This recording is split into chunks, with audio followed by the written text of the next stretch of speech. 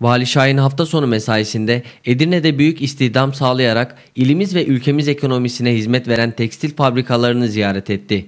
Vali Şahin, Trakya Üniversitesi Rektörü Yener Yörük ile Edirne İl Merkezi'nde hizmet veren Kilim Grubu ile Üç Kardeşler Tekstili ziyaret ederek çalışmaları hakkında detaylı bilgi aldı. Ziyaret ve incelemelerinden memnun kaldığını ifade eden Vali Şahin, ilimizde bu tarz işletmelerin var olması ilin ekonomisine katkı, Edirne halkı için iş imkanı sağlamaktadır. Ayrıca bugün de bir müjdeli haber aldım. İncelemelerde bulunduğumuz firmalarımızdan biri iş istidamını arttırmak için tesislerinde gerekli çalışmalara başlamış. Kendilerini bu girişimlerinden dolayı tebrik ediyorum. Umut ederim ki yakın zamanda iş kapasitelerini daha da arttırarak gerçekleşecek personel alımını gelecek günlerde daha üst rakamlara taşıyacaklardır dedi.